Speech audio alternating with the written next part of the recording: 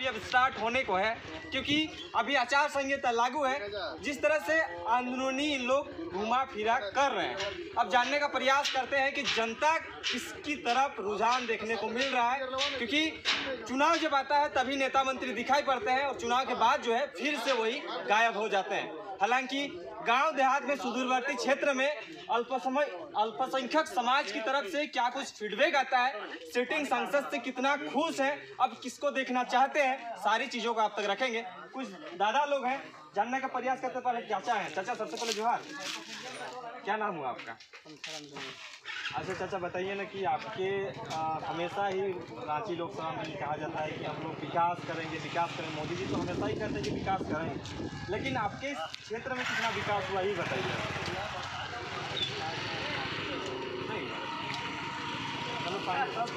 सांसद अभी जो है संजय सेठ से कितना खुश है काम से?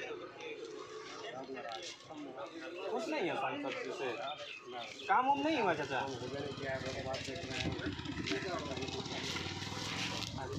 अच्छा भैया, ठीक है चाचा। जिस तरह से अभी चुनाव आएगा, तमाम नेता मंत्री भी आपके रोड में गुजरेंगे, आपके दरवाजे तक भी जाएँगे।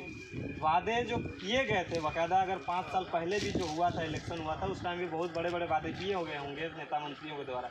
कितना पूरा हुआ है, अब फिर इलेक्शन आने को कैसे देखते हैं? तो लगता है दस परसेंट पूरा नहीं क्योंकि जो स्थिति उस समय जो पाँच साल पूर्व में जो बनी हुई थी हमारे माननीय सांसद संजय सेठ जी भी जो है जो वादे किए इस क्षेत्र के लिए वो वादे करके वो खड़े नहीं उतर पाए क्या लगता है कि अगर इस तरह से आप लोगों के साथ दोहरी राजनीति ही किया जाएगा तो फिर वोट आता है उस टाइम दिखाई पड़ते हैं नेता मंत्री फिर गायब हो जाते हैं? आपके क्षेत्र में किस तरह का नेता मंत्री आते हैं क्या आपके इधर? नेता मंत्री को बुलाया जाता है किसी अगर प्रोग्राम है तो उसमें उसमें सारे लोग जमावड़ा होता है तो उसमें सभी कुछ हो पर किसी काम का वादा जो जिस तरह से किए थे उसको पूरा करने के लेवल में नहीं आता अच्छा क्या लगता है? कहीं ना कहीं आप लोग को जब आया था पिछले जब इलेक्शन की बात करें तो उस टाइम बड़े बड़े वादे किए होंगे मैनिफेस्टो में रहा ही होगा कि नौकरी देंगे नियोजन से जोड़ेंगे रोज़गार देंगे। कितना रोज़गार मिला आप लोग ये सब कोई रोज़गार का बात ही नहीं कर रही। तो हमारे जो है पूरे जो इंडिया में अगर देखा जाए तो रोज़गार का जो जिस तरह से स्थिति बनी हुई है, इससे तो अब लगता है कि हमारे जो देश की जो जनता जो है लोग जितने भी हैं, वो लोग भी अब पढ़ाई लिखाई से लगता है कि आगे कितनों भी पढ़ते जाओ, पर जो रोज़गार कहीं है नहीं तो क्या करेगा पहले इस तरह से धारणा बनते हुए जा रहा है। जब तक रोज़गार सृजित नहीं होगा शिक्षा पर भी ज़्यादा जो है बल नहीं देगा। झारखंड में झारखंड में हमेशा ही आंदोलन हुआ है। पाँच साल के दरमियान बहुत सारे नियोजन को लेकर आंदोलन हुए जेपीएससी को लेकर आंदोलन हुआ। तरह तरह की परीक्षाओं में पेपर लीक का भी मामले सामने आया क्या लगता है कि झारखंडी नौजुवक को रोज़गार मिलेगा? आपको कुछ आशा उम्मीद दिख रहा है?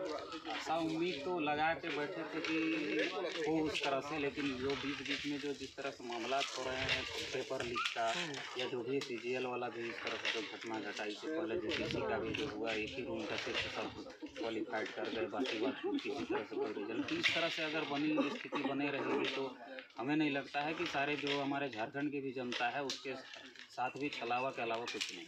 अच्छा इस बार 2024 के लोकसभा चुनाव में किसे देखना चाहते हैं? बीजेपी, कांग्रेस या कोई और तीसरा मोर्चा के भी आपके बीच कोई ऑप्शन है क्या? तीसरा मोर्चा ही हम लोग के लिए बेहतर हो सकता है, क्योंकि हमने कांग्रेस को भी देख लिया, बीजेपी को भी देख लिया। तीसरा ही जो हमारे माटी का हो और हमारे सुख दुख में हमेशा साथ खड़ा हो, और जो हम माटी का रहेगा तो बेहतर समझ सकता है हमारे सारे गुण दुख को तो वो बेहतर कर सकता है। इसलिए उम्मीद है कि तीसरे की तरफ़ ही लोग का रुझान अच्छा एक चीज़ हम जानने का प्रयास करेंगे तीसरा मोर्चा के तौर पर जे के शेष को लोग देख रहे हैं। आपके इस क्षेत्र में किस तरह का माहौल है ये बताइए। इधर भी उसी तरह से माहौल तो ठीक है और उनका विचारधारा से लोग जुड़े हुए हैं तो हो सकता है इस बार जो है उनकी विचारधारा से लोग उसके साथ जुड़े और बदलाव देखने को मिले। चलिए बहुत बहुत धन्यवाद। और भी लोग हैं आपसे भी थोड़ा सा जानने का प्रयास करें। क्या नाम हुआ सर आपका? हाँ तो फिर भी बताइए ना क्या आप आपका भी समस्या है कि नहीं हो सकता? सर सर सर सर आइए आइए आप ही आइए। जिस तरह से आप लोग अभी वोट आएगा तो सब